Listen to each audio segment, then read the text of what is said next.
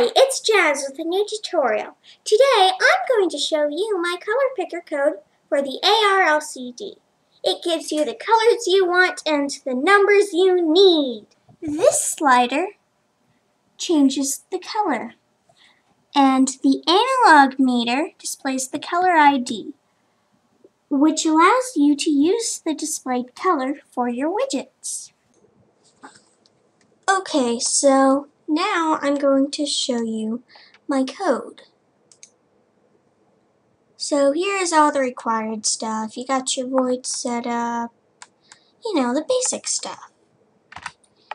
And then here's a little more required stuff.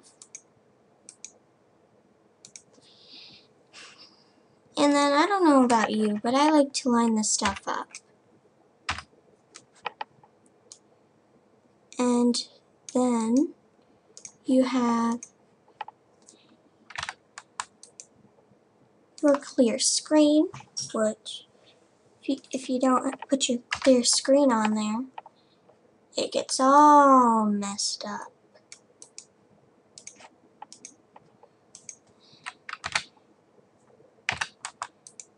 And then here is our analog meter have a theme, you know what a theme is. And then the analog meter is connected to the analog meter is connected to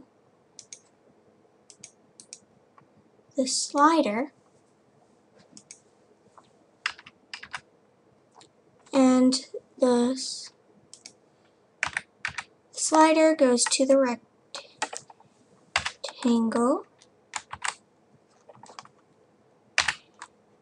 and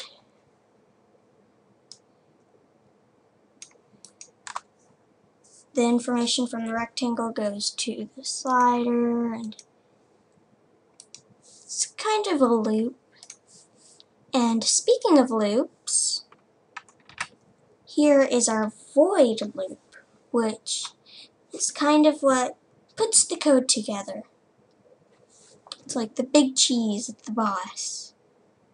And you need it no matter what. And we have our value, our widget value, which is that loop I was talking about.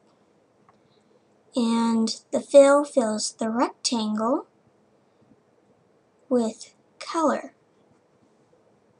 So this little chunk chunk of code kind of works together. So that's my code. If you like this video and want to see more, please subscribe to my channel. Any questions or improvements, please leave them below.